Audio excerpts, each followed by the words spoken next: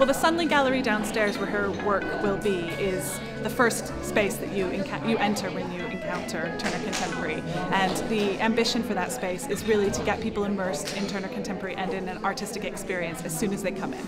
We were thinking about uh, uh, this idea of really having the population of Margate helping me to do the, the installation.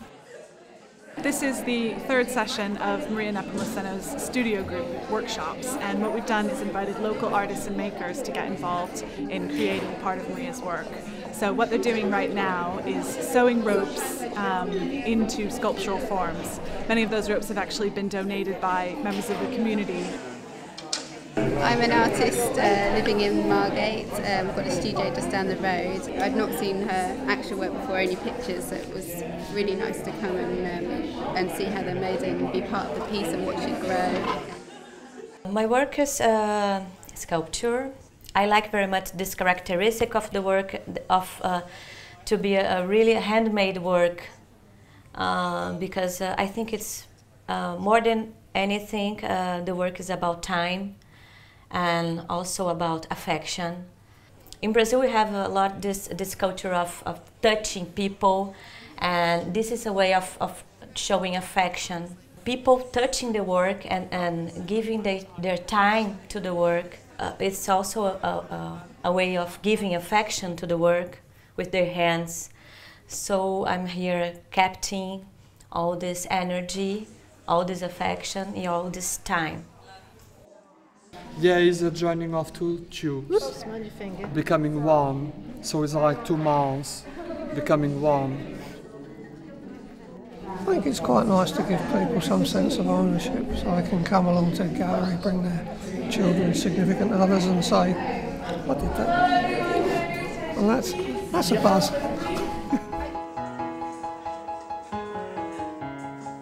The next step is to put everything together. It's really to connect uh, all these these pieces that people is now working individually. And uh, but I don't know yet exactly how it will look. Uh, I have to to think a little bit more and to see how people uh, develop such an interesting process, I think, and it's it's work being made in situ as opposed to just taking something out of a crate and putting it in space or putting it on the wall. You know, so it's wonderful for our audience to actually watch the work. You know, people with needles and thread and scissors and um, you know building up little landscapes. Something they never get to witness, really.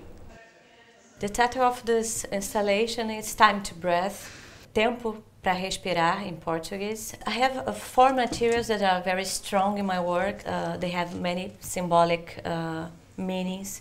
Uh, metaphoric relations uh, with body, uh, ceramic as flesh, the braided straw as, as skin, the ropes as umbilical cords, and the beads as cellulose. It's really an invention of nature, it's an invention of imaginary nature. The sound is being introduced into this piece for the first time, so she decided that she wanted to add that element to create, um, to add this sense of a kind of otherworldliness of an animated landscape.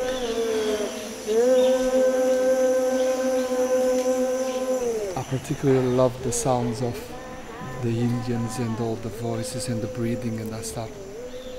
Uh, people, they're gonna go closer to it what I expect uh, people is really to go inside the work, to have a tactile relationship with the the work, with the materials, have some time to to think about uh, life, work, nature.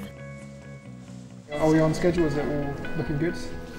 Yes. it's going to be done in time. It has to be, yes.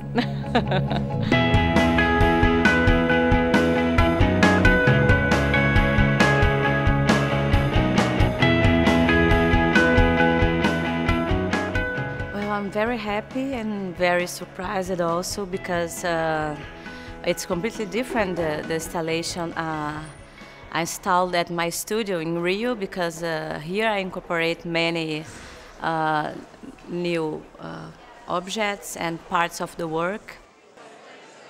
The idea is that the installation will keep growing uh, here with the studio group, and I already left some uh, ideas of the way it will grow, but uh, uh, at the same time, I want the, uh, the ideas also, their participation, so it's really a collaboration.